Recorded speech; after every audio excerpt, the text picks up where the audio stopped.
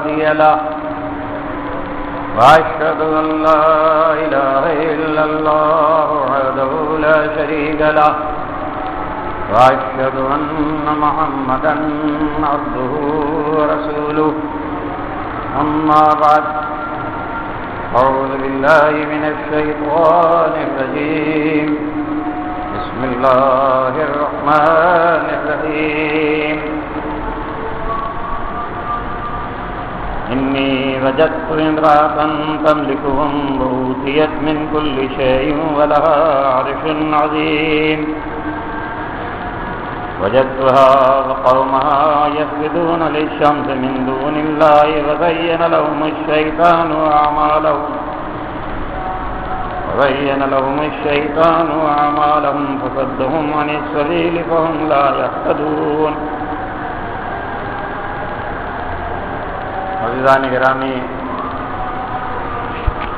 सूरत नमल की आयात हमारे सामने आ रही है इनमें अल्लाह ने सुलेमान सलाम के हवाले से उनकी सल्तनत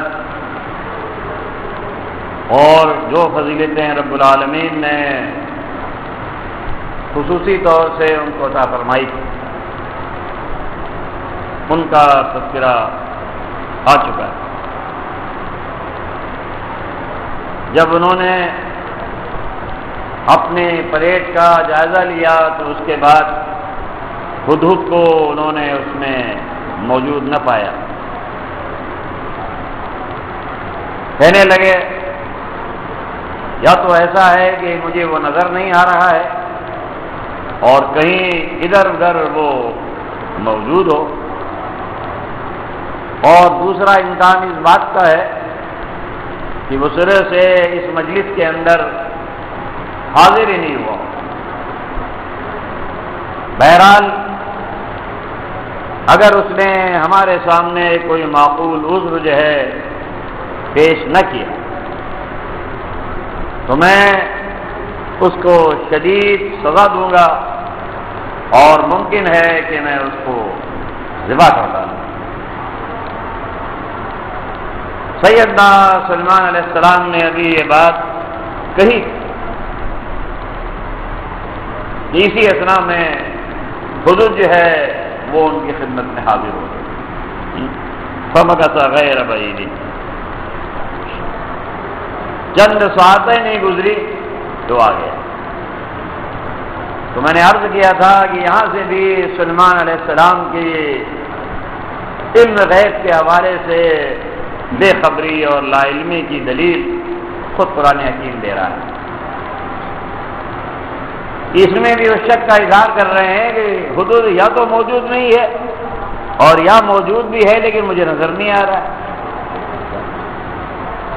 जिसका मतलब यह है कि नबी की नज़र भी महदूद अल्लाह की जो तकदीर है और उसके असबाब जो है बंदों के लिए, उससे मावरा नहीं हुआ करता। और इसी तरह उसका इल्म भी महदूद इसी असना में हदूद जो है, वो खिदमत में हाजिर हो गया और उसने कहा कि, बादशाह सलामत, हम आपके पास एक ऐसी खबर लेकर आए जिसका अहाता आपको भी नहीं बहुत सी बातें आपके इल्म में हैं मल के सबक मुल्क सबक लेकिन एक ऐसी खबर मैं लेकर आया हूँ कि जो आपको भी नहीं मालूम। तस्वुर कीजिए कि एक अल्लाह की बहुत सी बज़ाहिर, हकीर मखलूक फिजाओं में परवाज करने वाली। और एक नबी से बरह रास्त वो मखलूक इस तरह बात करती है। उसे मालूम? इस कायनात के अंदर एक ही ज़ात ऐसी है जो कान मायकून की जानने वाली और वो सिर्फ़ और सिर्फ़ रब्बुल आलमीन की बात। तो अगर तस्वुर तोहहीद और तस्वुर मैदानियत जो है, वो दिल के अंदर सही मानों में जगह पा ले। तो बाद इलाहों के साथ जितनी भी शैतान ने ये वाबस्तगियाँ कायम कर रखी हैं, ये सब रेत की दीवार साबित होती है। इनकी कोई हकीकत नहीं होती। और अगर ये अकीदा और ये ईमान न मिले। तो उसके बाद हर पत्थर जो है फिर वो गणेश शंकर बन जाता है। हर मुर्दा जो है वो इलाज या मनसब पर हो जाता है। फिर घोड़े की पूजा भी शुरू हो जाती है और पंजों की भी दुहाई जो है इंसान देने लगता है।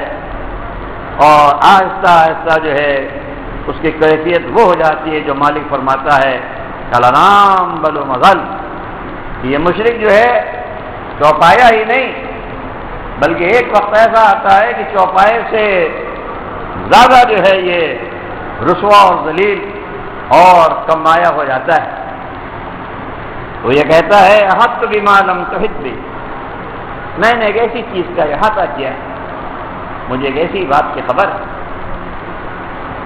सलमान सलाम आपको भी उसके बारे में नहीं मालूम।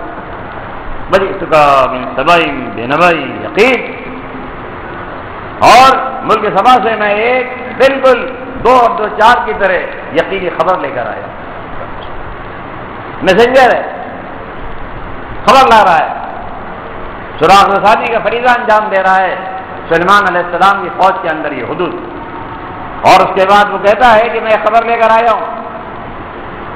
आपकी मस्जिद में जो मौजूद भाई था, उसकी वजह यही थी कि मैं यहाँ था ही नहीं। कहाँ फिलिस्तीन का इलाका और कहाँ सभा का इलाका? कमोवेश डेढ़ हज़ार माइल का फासला है इन दोनों में। आने जाने में तीन हज़ार मील का रास्ता बनता है। तो उसने कहा कि मैं खबर लेकर आया हूँ वहाँ से, आपके लिए। और आपको उसके बारे में कुछ इल्म नहीं है। तो बुजुर्गो, आज ये माशरे के अंदर जो है, आकाश बेल की तरह ये बदकीदगी छाई हुई है। और जिसमें इस पूरी कौम को बिल्कुल बाँध कर दिया मुर्दा कर दिया बेहिस कर दिया उसकी बुनियादी वजह है। कि रबुल आलमीन की ज़ात के बारे में अभी तक इसको वो इतराक हासिल नहीं हो सका है कि चरिंदों परिंदों को रबुल आलमीन ने उनकी फितरत के हवाले से वदीत कर दिया। जब तक ये एहसास बेदार नहीं होता है, जब तक ये शोर इनके दिलों के अंदर नहीं उतारा जाता है, ये कौम इसी तरह भटकती रहेगी। रबुल आलमीन की अजाब के कोड़े इसी तरह बसते रहेंगे। मालिक सुरह इलास सूर्य कुरैश दो इनाम बयान करता है। सात मिन मिन खौफ। दो इनाम मैंने क्या किया? रब फरमाता है कि मैंने इनको भूख से निजात दी। रोटी का इंतज़ाम कर दिया। ये इंसानी ज़रूरत और दूसरी, मैंने इनको खौफ से अमन में तब्दील कर दिया।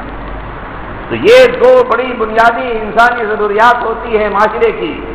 एक तरफ़ भूख ना हो, अखलास ना गुर्बत इस तक ना हो इस जिसम और रूह के रिश्ते को बर्बाद रखना मुश्किल हो जाए इंसानों से। फरमाता है कि हमने तुम्हारी भूख दूर कर दी। हाँ मना हमने खौफ।